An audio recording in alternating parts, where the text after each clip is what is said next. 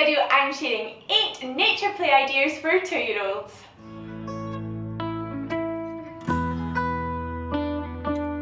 Hi everyone, I'm Kara, welcome or welcome back to my channel.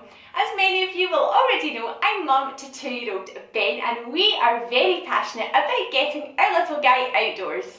In this video, I'm sharing 8 of his absolute favourite outdoor woodland activities. However, I absolutely have to stress that we just do one of these once in a while just to make walks a little bit different. Most of the time, he just has unstructured play to do as he wants in the forest and it is so amazing to see what he does.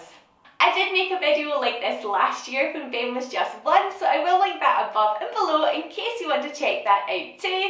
And make sure to hit subscribe if you haven't already and would like to see more toddler activity videos just like this one.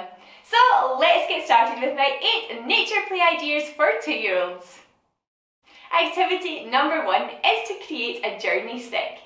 This is so easy to do, you just have to find a large stick with your little one in the forest and we need to take some twine. You just tie it to the top, wind it down a little bit and then tie it around halfway down. The idea is as they walk through the forest they can collect things that they find interesting and just tuck them into their journey stick. Ben is so excited when he walks through the forest with one of these and he's always so proud of what he creates and then obviously make sure that you take that twine away with you as well when you're leaving. My next activity is to create some cardboard cutouts. Now I just made these ones, I drew some pictures that made sense for when we were outdoors and then using a craft knife I just cut out the holes. Then wherever you put them, you can see through them and see whatever background is there. So you can hold them in front of flowers, in front of different plants, in front of bark. And they're always going to make, in this case, your butterfly or your caterpillar look different. Next, I would totally recommend getting hold of a magnifying glass. We recently picked up this one, it was actually Ben's Easter present and I will link it below because I would totally recommend it. With the two handles, it really helps toddlers to be able to position it and it's pretty light as well.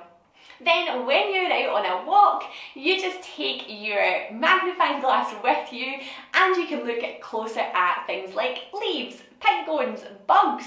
There's so much to discover and it's really fascinating when you can actually, for example, look at all the tiny legs of a millipede. I also think this is something that he's really going to grow into and use more in the years to come too.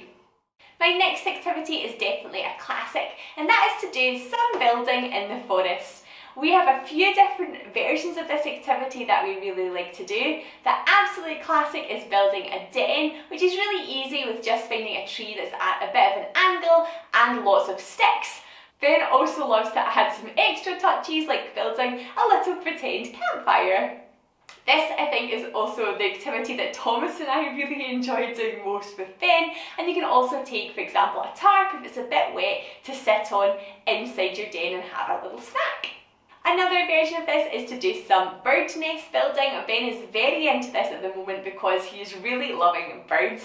It's just collecting things like dried grass and leaves and sticks from around the forest floor and turning them into the shape of a little bird's nest. We also take some of our sorting eggs which Ben can then put on them and he loves to pretend and talk about what type of bird nest it is.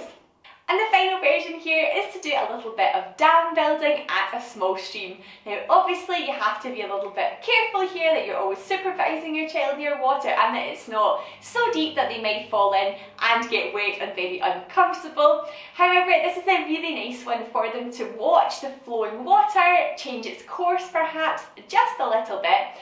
Thomas particularly is a huge fan of this one because he has a geography degree and loves sharing some of that knowledge with Ben. My next activity is to create a cardboard vase. So to make this, I just took a piece of cardboard from a recycling, drew a little vase on it, some stalks, and then poked some little holes through it just using a toothpick. The idea is that you can pick flowers and then thread them through and it looks like a full vase of flowers. Now I would totally recommend caution with this one. We try to encourage Ben not to just pick flowers because obviously they're there for the bees and for other people to enjoy. I only ever do it if the flowers are going to be used for another purpose or if for example the grass is about to be cut and the heads of the daisies and buttercups are going to be chopped off in the garden anyway. With the ones that Ben picked for this, they're lesser celandines, a type of buttercup, and we're actually making some wildflower artwork, we're pressing flowers, so they're going to be used for another purpose too. My next activity is nature cutting, which definitely follows on from that. And when I said that we only cut or pick things that are going to be used for another purpose. We are big fans of foraging and right now is a great time for wild garlic. So Ben took his scissors to the forest.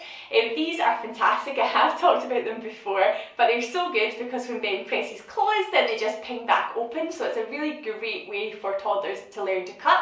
I'll link those below as well. But we take these with us and Ben can cut the stalks of the wild garlic and collect them in our bag.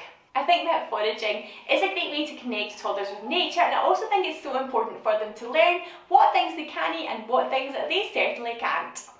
Give the bud to you. Thanks, June. I'll, I'll for me, that one. Okay.